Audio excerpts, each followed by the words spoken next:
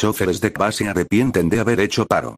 Además la propia UTA Nacional criticó con dureza a los choferes cordobeses por hacer paro. Salieron 32 coches en total. Pienso en mi familia, dijo un trabajador. Hubo dos incidentes.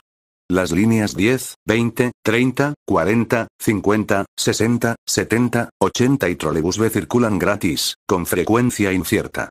Por otro lado, autoridades de la UTA Nacional afirmó. Le hacen creer a la gente que tienen que seguir fuera de la ley, señaló Jorge Quiner, de UTA Nacional. Un grupo de choferes de la empresa ERSA decidió romper la protesta y comenzar a prestar el servicio, tras ocho días de medidas de fuerza. Los 40 choferes, reunidos en Avenida de Circunvalación, manifestaron temor aunque aseguraron que la medida no da para más y confirmaron que prestarán servicio con 32 coches. Circulamos con un poco de temor pero ya lo tenemos decidido. Ya no da para más esto, ya que muchos compañeros han sido desvinculados. Acompaño la protesta pero esto tiene un límite. Pienso en mi familia. ¿Qué hago si pierdo mi trabajo? Dijo a cadena 3 un chofer del interno 32. En tanto, el secretario de Gobierno Municipal, Javier B. Sellares, remarcó a Cadena 3 que el discurso de Mestre, fue muy claro. Con este sistema de emergencias se ha motivado a que una importante cantidad de choferes vuelva a trabajar.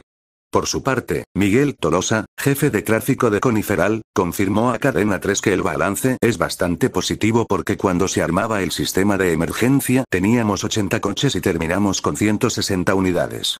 Y agregó, Estamos buscando personal para duplicar la cantidad de coches mañana.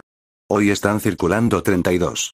Mañana queremos duplicarlo, dijo Tolosa. Los choferes están tomando conciencia y se están dando cuenta que se tienen que presentar a trabajar.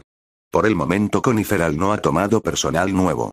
Aunque seguimos llamando a más choferes para que se sigan sumando.